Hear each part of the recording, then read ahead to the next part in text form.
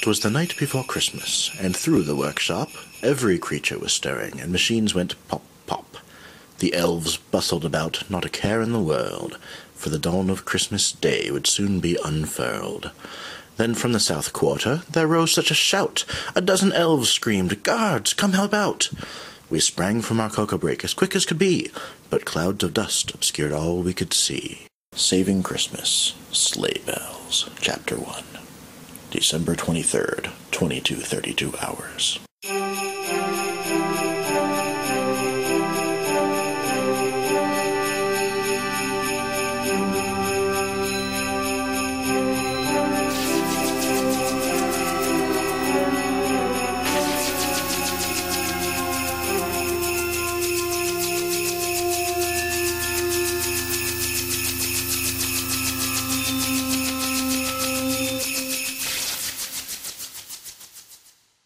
So there we were, just over 24 hours until the sleigh was scheduled to depart for the big guy's yearly mission, when out of the present rapid blue there was an earth shattering blast.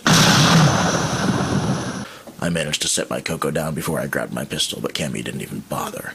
She had her gun up and ready, and her cocoa left a brown trail in midair that didn't hit the ground until she had already gotten to the door. By the time I poked my head and my gun out the door, she had already gotten cover behind a conveyor belt and lined up a shot. All I could see was dust and dirt in the air.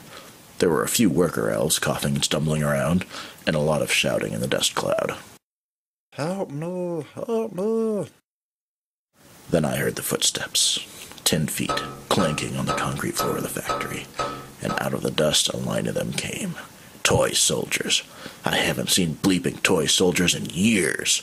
They went out of vogue back when I was still in tactical training. But I'd been warned. Those pop guns can give you a nasty black eye. Then, when you're stunned, they like to run up and fillet you with those cheap tin bayonets. Wiry, get to cover, Cammy yelled over the din. I'll take these buckos out. I nodded and rolled out of the doorway. While I was rolling, I heard the distinct foot sound of Cammy's marshmallow gun. Instead of the crunch of a hit, I heard a soft thwip sound of her round sticking to an enemy. Oh, jingle bells. She was using T4 rounds in an enclosed space again. That girl mixes her own taffy and C4 to make the rounds extra sticky, and rumor has it that she puts a little something extra in there to give it a bigger kick. When the dust cleared again, there were tin limbs and torsos littering the warehouse. But the bigger dust cloud still obscured everything beyond this part of the toy factory, were still hearing screams. Something glittered in the dust, but I held my fire. Plenty of elves here get covered in glitter. It's a job hazard, especially in the ornament division, and that was right next door. But this wasn't no toy maker. It was a blob of snow with jagged bits of ice instead of teeth. More jagged bits of ice covered it all over. On the surface, you'll get what we call blobs. They're just little blobs of animated snow. Mindless, vicious, but ultimately soft and harmless. Proto snowmen, maybe. The science division can never figure out where they come from. The wild herds of snowmen avoid them, but every now and then you get one that's too dumb and stubborn to find shelter in the summer. When they're out in the white nights, bits of them melt and refreeze. Instead of soft, blobby, harmless snow, they develop spikes.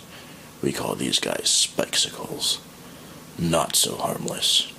And the three others that slid out of the dust cloud looked equally unfriendly. How in Kringle's salty nuts did they get inside the building? One of the workers was on the ground, frantically trying to crawl away. I took a quick snapshot with my pistol, but the industrial strength staple just chipped off a chunk of ice. To my left, I saw Cambo pop the T4 clip out of her gun and pull out a clip of rock salt rounds. She's efficient, and she knows her fizzle, but I didn't know if she could reload in time to save the worker. With a sudden twing and a matching kerthunk, a peppermint crossbow bolt embedded itself in the chunk of ice that the spikesicle uses as a brain. Its snowy eyes crossed and it crumbled apart on the concrete. Shade popped up out of nowhere and jabbed her ice picks into two more of the mean little snow cones. One of them collapsed, but the other one just roared and tried to shoulder check her into the wall. She took the hit as if it were nothing, and used the momentum to tear the ice pick out of the icy skull of the dead one. A few well placed pokes, and this one went down too. That leaves one, and all I've got is my industrial strength staple gun. Then I heard a click from my left, and Cammy popped up out of cover with her freshly loaded marshmallow gun. The gun made a hollow pop, and the chunk of rock salt embedded in the spicicle turned into nothing more than a chunky wet spot on the concrete. And that was it. The attack was over. There wasn't any kind of silence like you see in the movies. Elves were crying. Some machines were still running unattended. I looked around. In the doorway to the break room was Longshot, our sniper, holding his candy cane crossbow steady. I don't know how in Heckerdoodle's shade got past us, but she was right there in the break room with me when the ruckus started. But that's what she's there for, to get past the enemy defenses and hit them when their back is turned. She kicked at the spicicle bodies to make sure they were dead. Anybody got a peppermint? I'm bleeding a little. I hate to ruin my snow camo.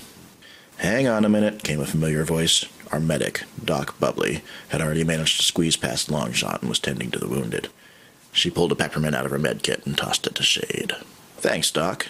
Tina Toodles, or Shade as we called her, wiped off her blades and then popped the mint into her mouth. I could see the bleeding already starting to slow. We may not be happy little toy makers, but we've got just as much Christmas spirit as any other elf. The quickest way for us to heal up is to expose ourselves to positive Christmas juju. Downing a peppermint or a shot of hot buttered rum usually fixes us right up, unless we're really hurt. The PA system crackled. Attention, all workshop employees. The attackers seem to have fled. It is safe to come out of hiding. Medical staff are being dispersed to help. All security and special forces come to meeting room B for emergency dispatch. I repeat, all security and special forces are to report to meeting room B for emergency dispatch. I nodded to my team. Our lockers are on the way. You better not take more than 30 seconds to grab your gear. Doc, hurry up what you can, then follow us.